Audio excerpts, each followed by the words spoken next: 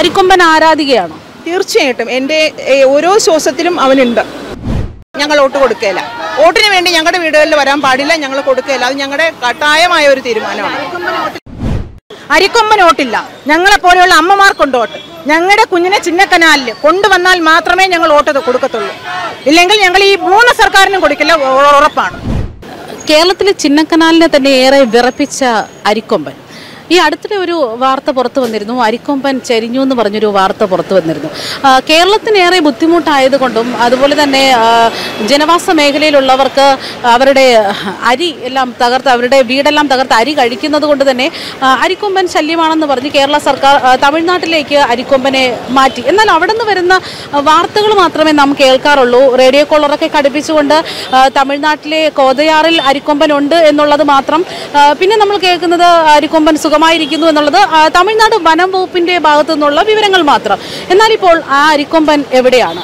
അരിക്കൊമ്പന് ഏറെ ആരാധകരുള്ള ഒരു സ്ഥലം തന്നെയാണ് നമ്മുടെ കേരളം. എന്നാൽ അരിക്കൊമ്പനെ കുറിച്ചുള്ള വാർത്തകൾ കേൾക്കുമ്പോൾ ഇതൊക്കെ നമുക്ക് വിശ്വസിക്കാനാകുമോ? അരിക്കൊമ്പൻ വിഷയത്തിൽ ഇപ്പോൾ നമുക്കൊരു പ്രതികരണം കേൾക്കാം. പേരെങ്ങനെയാണ്? എന്റെ പേര് ശ്രീല എന്നാണ്. തിരുവനന്തപുരം നിവേശിയാണ്. തിരുവനന്തപുരത്ത് താമസിക്കുന്ന ഏറെ വർഷങ്ങളായിട്ട് ഇരുപത് വർഷത്തോളമായി തിരുവനന്തപുരത്ത് താമസിക്കാൻ തുടങ്ങിയിട്ട് ഞാനൊരു ടീച്ചറാണ്. അരിക്കൊമ്പൻ ആരാധികയാണോ? തീർച്ചയായിട്ടും. എന്റെ ഓരോ ശ്വാസത്തിലും അവനുണ്ട്. ഇപ്പോ ഇപ്പോൾ ഉള്ളൊരു അടുത്തിടെ ഉണ്ടായ ഒരു സംഭവം ഉണ്ടല്ലോ അരിക്കൊമ്പൻ ചരിഞ്ഞു എന്നുള്ളൊരു വാർത്ത വന്നു. ഏറെ ഞെട്ടലുണ്ടാക്കിയിട്ടുണ്ടാവും.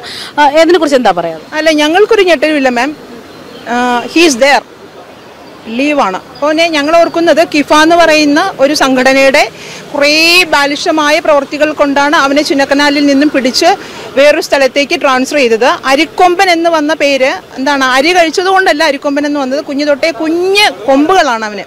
അതുകൊണ്ടാണ് ആ പേര് അരിക്കൊമ്പൻ എന്ന് വന്നത്. അല്ലാണ്ട് അവൻ അരി തള്ളിയിടുന്നതും കഴിക്കുന്നു എന്നിട്ട് സി സി ടി വിക്കകത്ത് ഒന്നും ആരും പറഞ്ഞിട്ടില്ല. പിന്നെ വിവരാവകാശ കമ്മീഷൻ തരുന്ന റിപ്പോർട്ട് അനുസരിച്ച് അതിലൊന്നും അരിക്കൊമ്പൻ ഒന്നും ചെയ്തിട്ടില്ല എന്നാണ് പറയണേ. അവൻ എത്രയോ പേരെ കൊന്നു എന്ന് പറയണു. ഇതൊന്നും നടക്കാത്ത കാര്യമാണ്. നമ്മുടെ ഗവൺമെന്റ് തന്നെ കോടതിയിൽ ഹർജി ഫയൽ ചെയ്തപ്പോൾ അതിനകത്തുള്ള ഒരു ഉദ്യോഗസ്ഥൻ തന്നെ ഫോറസ്റ്റ് ഡിപ്പാർട്ട്മെന്റിലെ ഒരു ഉദ്യോഗസ്ഥൻ തന്നെ പറഞ്ഞു അവൻ ഏതാണ്ട് എത്രയോ പേരെ കൊന്നിട്ടുണ്ട്. പക്ഷേ വിവരാവകാശ കമ്മീഷൻ പ്രകാരം വന്ന റിപ്പോർട്ടിൽ അതൊക്കെ കള്ളരേഖകളായിരുന്നു ചമച്ച രേഖകളായിരുന്നു. അപ്പോൾ കിഫ എന്ന് പറയുന്ന സംഘടനയുടെ ഞാൻ തുറന്നു പറയുവാണ് കിഫ എന്ന് പറയുന്ന സംഘടനയുടെ അതിവിപുലമായ ഒരു പ്രവൃത്തി കൊണ്ടാണ് അവരെല്ലാം മലയോര കർഷകന്മാരാണ്. അതായത് പട്ടയമില്ലാണ്ട് ആ, ഗവൺമെന്റിന്റെ എന്താണ് ഗവൺമെന്റിന്റെ താല്പര്യമില്ലാണ്ട് അവർ അവിടെ താമസിക്കുന്ന കുറച്ച് ജനങ്ങൾ അവരുടെ താല്പര്യത്തിന് വേണ്ടി അവനെ മാറ്റപ്പെടുകയായിരുന്നു. പലരുടെയും ഒരു സ്വാർത്ഥ താല്പര്യത്തിന് വേണ്ടി എന്റെ കുഞ്ഞ് എന്റെ കുഞ്ഞ് നമ്മുടെ കുഞ്ഞ്. കേരളത്തിന്റെ കുഞ്ഞ് ബലിയാടാകുമായിരുന്നു അവൻ ഇപ്പോഴും ഒരു കാര്യം ആ ഒരു കാര്യം നോക്കുമ്പോൾ ഇപ്പൊ നിരവധി കാട്ടാനകൾ കാട്ടിൽ നിന്ന് നാട്ടിലേക്ക് ഇറങ്ങാറുണ്ട്. ഒരുപക്ഷെ ഇത്തരത്തിൽ അനധികൃതമായ ഒരു കയ്യേറ്റം അതായത് കാടിനകത്ത് നടക്കുന്ന പല സംഭവങ്ങളാണ് ഇതിന് പിന്നിലെന്ന് പറഞ്ഞാൽ അതിനെക്കുറിച്ച് എന്ത് പറയാൻ? തീർച്ചയായിട്ടും. അനധികൃത കയ്യേറ്റം തന്നെയാണ് കാട്ടാനകൾ നാട്ടിലേക്ക് ഇറങ്ങുന്നത്. അവർക്ക് സ്ഥലം വേണ്ടേ? താമസിക്കാൻ അവർക്ക് സ്ഥലം വേണം. ജനങ്ങൾ കാട്ടിനകത്ത് പോയി കടന്നാൽ കാട്ടിൽ കിടക്കുന്ന ആനകൾ എവിടേക്കാണ് പോകുന്നത് തീയിടുന്നു. ഒരു സൈഡിൽ നിന്ന് തീയിടുന്നു. ഈ തീയിടുന്നതും ഈ നാട്ടിൽ നിന്നുള്ള ജനങ്ങൾ തന്നെയാണ്. അത് വേറെ ആരുമല്ല. കിഫയിൽ പ്രവർത്തിക്കുന്ന ആൾക്കാർ തന്നെയാണ് ഇതിന് കാരണക്കാർ അവർ തീയിട്ട് കാട്ടാനകളെ നാട്ടിലേക്ക് ഇറങ്ങുന്നു. എന്തിനാ? കിഫയുടെ കിഫയെ കുറിച്ചൊന്ന് പറഞ്ഞു ആ, കിഫ എന്ന് പറയുന്ന മലയോര കർഷകരുടെ ഒരു സംഘടനയാണ്. മൃഗങ്ങൾക്ക് വേണ്ടിയിട്ടല്ല. മൃഗങ്ങൾക്കെതിരായിട്ട് പോരാടുന്ന ഒരു സംഘടനയാണ്. ആ, കിഫ. വളരെയധികം മോശകരമായ പ്രവർത്തികൾ അവരുടെ ഭാഗത്തു നിന്നും ഇന്നും ഈ എന്നും നിരന്തരം തുടർന്നുകൊണ്ടിരിക്കുകയാണ്. അവർക്ക് എന്താണ് ജനവാസ മേഖല അതായത് ഫോറസ്റ്റിന് അരികെ തന്നെ അവർ ഫോറസ്റ്റിനകത്തും കുറേ പേർക്ക് ഭൂമിയുണ്ട്. അപ്പോൾ ഈ ഭൂമി കെട്ടി വെച്ചിട്ട് അവർക്ക് അവിടെ താമസിക്കണം മൃഗങ്ങളെ വെളിയിലാക്കണം. അപ്പോൾ അവർക്ക് താമസിക്കണമെങ്കിൽ മൃഗങ്ങൾ പുറത്തു വന്നാലേ പറ്റുള്ളൂ. മൃഗങ്ങളെ അടിച്ച് പുറത്താക്കുക കൊല്ലുക. ഇപ്പം അവരുടെ തീരുമാനം അതാണ് പുറത്തിറങ്ങുന്ന ആനിമൽസിനെ കൊല്ലുക. പക്ഷേ ഗവൺമെന്റ് അതിന് കുറച്ച് എന്താണ് അനുമതി കൊടുത്തിട്ടില്ല. പുറത്തിറങ്ങുന്ന ആനിമൽസിനെ വെടിവെക്കാനുള്ള അനുമതി ഇതുവരെയും കൊടുത്തിട്ടില്ല. അങ്ങനെ നോക്കുമ്പോൾ ഈ ഇടയ്ക്കായിട്ട് തണ്ണീർ കൊമ്പൻ എന്ന് പറയുന്ന ഒരു ആന പുറത്തിറങ്ങി കാട്ടാന പുറത്തിറങ്ങിയിരുന്നു. എന്നാൽ അതിന് പിന്നാലെ ഗവൺമെന്റിന്റെ ഭാഗത്തു നിന്ന് അധിക ഡോസ് അതായത് നമുക്കറിയാം വനം വകുപ്പിന്റെ ഭാഗത്തു നിന്ന് ഇഞ്ചക്ഷൻ കൊടുത്തിരുന്നു അത് അമിത ഡോസ് കാരണം അത് ചത്തുപോയ ഒരു വാർത്തയൊക്കെ വന്നു. അപ്പോൾ ആ ഒരു വിഷയത്തിൽ സർക്കാരിന്റെ ഭാഗത്തുനിന്ന് അനുമതി ഇല്ലാതെ പിന്നെ എങ്ങനെയാണ് ഈ വെറ്റകളൊക്കെ ഇത് ചെയ്യുന്നത്? ഇതൊന്ന് ആ, സർക്കാരിന്റെ ഭാഗത്ത് അനുമതി ഇല്ലെങ്കിലും കിഫാക്കാരുടെ അവിടെയുള്ള ആൾക്കാരുടെ ആ ഒരു പ്രഷർ മൂലമാണ് അന്ന് അത് സംഭവിച്ചത്. കാരണം അങ്ങനെ കൊല്ലണം കൊല്ലണം എന്നുള്ള ഒരു തീരുമാനത്തിലാണ് അവർ നിന്നതും. ഈ അധിക ഡോസ് കൊടുത്തതും. സിക്സ് മന്ത്സിനുള്ളിൽ തന്നെ അവൻ രണ്ട് പ്രാവശ്യം ഡോസ് അവന് കിട്ടേണ്ടി വന്നിട്ടുണ്ട്. ആ ഒരു സാഹചര്യം അവനുണ്ടായത്. വളരെ കണ്ണീരോടുകൂടി ഞാൻ പറയുവാണ്. അത്രയും വേദനയോടുകൂടി പറയുവാണ്. ഒരു എന്താണ് അത്രയും വലിയൊരു ആനയുമല്ല.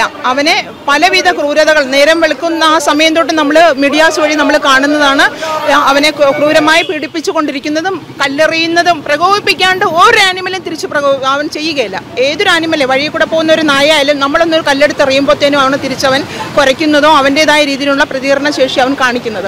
സോ ഇങ്ങനെയുള്ള ആനിമൽസിനെയൊക്കെ അതായത് തണ്ണീർക്കൊമ്പന്റെ കാര്യത്തിലും നടന്നിതാണ് അധിക ഡോസ് കൊടുത്തു.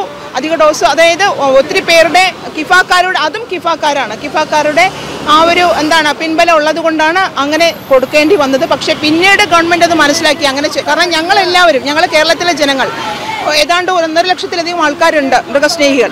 ഈ വോട്ട് കൊടുക്കത്തില്ല മാം സത്യമായും പറയുന്നു ഞങ്ങളുടെ ഒരു തീരുമാനമാണ്. ഞങ്ങൾ ഇപ്രാവശ്യം വോട്ട് കൊടുക്കുന്നത് ആരാണോ ഞങ്ങളുടെ അരിക്കൊമ്പനെ തിരിച്ച് നാട്ടിലേക്ക് കൊണ്ടുവരുന്നത്. അവന് വേണ്ടി ഉപയോഗകരമായ കാര്യങ്ങൾ ആരൊക്കെയാണ് ചെയ്യുന്നത്? അവർക്ക് വേണ്ടി മാത്രമേ ഞങ്ങൾ വോട്ട് കൊടുക്കത്തുള്ളൂ. ഏതാണ്ട് ഒരു ഒന്നര ലക്ഷത്തോളം ആൾക്കാർ മൃഗസ്നേഹികൾ കേരളത്തിലുണ്ട്. വീണ്ടും വീണ്ടും ഞാൻ പറയുവാണ് വോട്ടിന്റെ കാര്യമെങ്കിലും അവരൊന്ന് ആലോചിച്ച് തീരുമാനിക്കുക. ഞങ്ങൾ വോട്ട് കൊടുക്കുകയില്ല വോട്ടിന് വേണ്ടി ഞങ്ങളുടെ വീടുകളിൽ വരാൻ പാടില്ല ഞങ്ങൾ കൊടുക്കുകയില്ല. അത് ഞങ്ങളുടെ കട്ടായമായ ഒരു തീരുമാനമാണ്. വോട്ടില്ല ഞങ്ങൾക്ക് വോട്ടുണ്ട്. എന്റെ പേര് രാജേശ്വരിയാണ്. അപ്പം മുപ്പത്തിയഞ്ച് വർഷം കൊണ്ട് ചിന്നക്കനാലിൽ ജനിച്ചു വളർന്ന ഒരു ആനയാണ്. അപ്പോൾ ഏതൊരു ജീവിക്കായിരുന്നാലും അതിന്റെ ഭൂമിയിൽ മനുഷ്യനായിരുന്നാലും അവ ജീവിക്കാൻ അവകാശമുണ്ട്. അപ്പോൾ ഇവർ ഭൂമാഫിയക്കാരുടെയും റിസോർട്ട് മാഫിയക്കാരുടെ സ്വാർത്ഥ താല്പര്യങ്ങൾക്ക് വേണ്ടിയിട്ടാണ് അവനെ പിടിച്ചവിടുന്ന് മാറ്റിയത്. അവൻ ആ വിവരാവകാശ കമ്മീഷൻ എടുത്തതിൽ വിവരാവകാശ കമ്മീഷൻ നോക്കിയാൽ പോലും അവൻ ആരെയും കൊന്നിട്ടില്ല. അവൻ ആരെയും കൊല്ലാൻ കഴിയില്ല. ഗോത്രവർഗക്കാരുടെ ഇടയിൽ കടന്ന് വളർന്നൊരു ആനയാണ്. മനുഷ്യരുടെ ഇടയിൽ കിടന്ന് വളർന്ന ഒരു ആനയാണ്. അവൻ ഒരു മനുഷ്യരെ പോലും കൊന്നിട്ടില്ല. അപ്പൊ ഇത്രയും പാവമായ ഒരു ആനയെ എന്തിനിവർ ഇവരിങ്ങനെ നാട് കടത്തി? മേഘമലയിൽ കൊണ്ടിട്ട സമയത്ത് ഈ നമ്മുടെ വനം വകുപ്പിന്റെ അനാസ്ഥയാണ് അവൻ തമിഴ്നാട്ടിൽ കമ്പത്തേക്ക് ഇറങ്ങിയത്. അപ്പൊ കമ്പത്തിറങ്ങിയ സമയത്തെങ്കിലും അവർക്ക് കേരളത്തിന് ആവശ്യപ്പെടാമായിരുന്നു. കേരളത്തിന്റെ വനത്തുള്ളിൽ തന്നെ നിർത്താൻ നോക്കണമായിരുന്നു. അപ്പൊ അവരെന്തിനാ പിന്നെ റേഡിയോ കൊള്ള അഞ്ചു ലക്ഷത്തിന്റെ റേഡിയോ കൊള്ള അവന്റെ കഴുത്തിൽ എന്തിനാ ഇട്ടത്? അപ്പോൾ ഒരു ഒരു ഒരു മനുഷ്യനായിരുന്നെങ്കിൽ ഇപ്പോൾ എന്തെല്ലാം നിയമങ്ങൾ ചെയ്ത് അവൻ കള്ളക്കേസിൽ കുരുക്കുമ്പോൾ അവൻ കോടതി കയറി ഇറങ്ങും പോലീസ് സ്റ്റേഷനിൽ പോയി അവൻ സത്യാവസ്ഥ ബോധിപ്പിക്കും. അപ്പോൾ ഒരു മിണ്ടാപ്രാണി ആയതുകൊണ്ടാണോ അവർ ഈ കള്ളം കൊലപാതകയാക്കി കള്ളനാക്കി മോഷ്ടാവാക്കി? അപ്പോൾ ഒരു മിണ്ടാപ്രാണി ആയതുകൊണ്ടാണ് ഇത്രയും പീഡനങ്ങൾ അവന്റെ തലയിൽ കെട്ടിവെച്ചിട്ട് അവനെ അവിടുന്ന് മാറ്റിയത്. പക്ഷേ ഒരു വർഷം ഇതാകാൻ പോകുകയാണ് എത്ര അമ്മമാരെല്ലാം ഞങ്ങളൊക്കെ ഓരോ ശ്വാസം എടുക്കുന്നത് പോലും അവന് വേണ്ടിയിട്ടാണ്. അവന്റെ തിരിച്ചു വരകിന് വേണ്ടിയിട്ടാണ്. പക്ഷേ ഞാൻ ഒരു കാര്യം ഇവിടെ വ്യക്തമാക്കിയാണ്. അരിക്കൊമ്പൻ ഓട്ടില്ല. ഞങ്ങളെ പോലെയുള്ള അമ്മമാർക്കുണ്ട് ഓട്ട്. ഞങ്ങളുടെ കുഞ്ഞിനെ ചിന്നക്കനാലിൽ കൊണ്ടുവന്നാൽ മാത്രമേ ഞങ്ങൾ വോട്ട് കൊടുക്കത്തുള്ളൂ.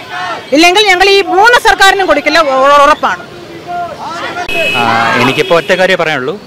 മറ്റുള്ളവരെ ഉപ ഉപദ്രവിക്കാതെ ജീവിക്കുക അത്രേ ഉള്ളൂ. സിമ്പിളായിട്ട് പറയുകയാണെങ്കിൽ. മറ്റുള്ളവരെന്ന് പറഞ്ഞാൽ മനുഷ്യരായാലും മൃഗങ്ങളായാലും.